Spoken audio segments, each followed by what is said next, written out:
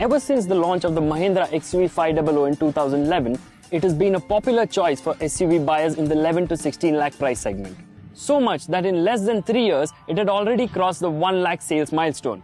But sales of this premium SUV offering have been dwindling of late, and Mahindra thought it was just the right time for them to give it a makeover. So, how different is the new age XUV 500 really?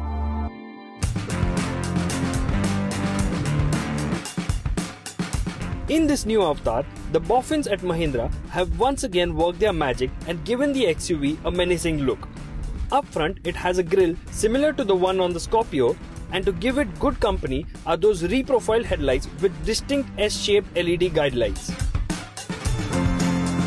Also new is a bolder bonnet with rounded corners and fewer creases, and the remolded front bumper which houses the L-shaped fog lamps.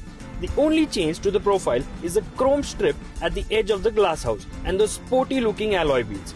Completing the exterior design update is a bolder chrome garnish above the registration plate at the back.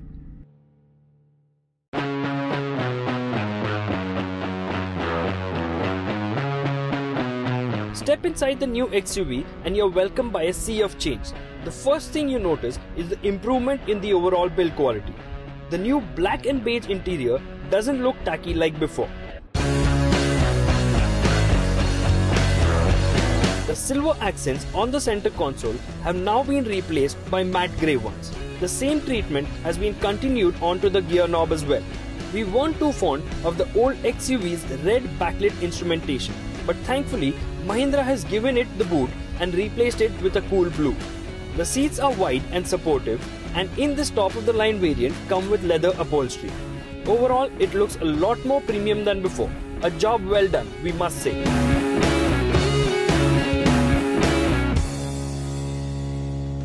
The outgoing XUV too came fairly well equipped and this one here comes even more heavily loaded. Aside from the standard steering mounted controls, touchscreen infotainment system with Bluetooth, aux and USB connectivity, this one also gets button start, keyless entry and start stop technology. It also gets the much needed reversing camera. And then of course there is the navigation system and the electronically adjustable driver's seat.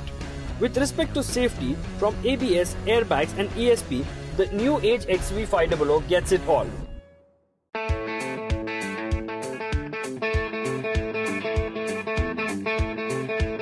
Since it's a facelift, Mahindra has retained the same 4-cylinder 2.2-litre M-Hawk engine from the older version.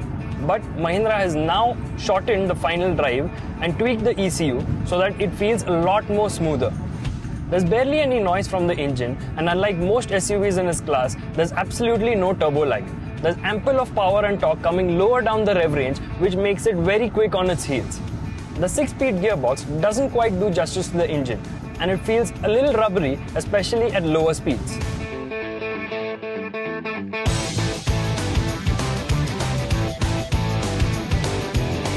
For increased stability around a series of bends, Mahindra has stiffened the suspension in this new age XUV. The body roll is a lot less now, which inspires you to push this new age XUV a lot harder than you would have on the older version. Interestingly, the stiffer springs haven't really upset the overall ride quality and it rides over potholes really well. The steering weighs about right but could have been more direct.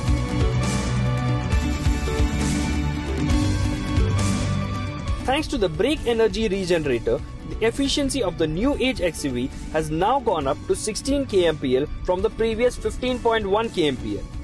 The new age Mahindra XUV starts at rupees 11.21 lakh while its top end trim has been priced at 15.99 lakh.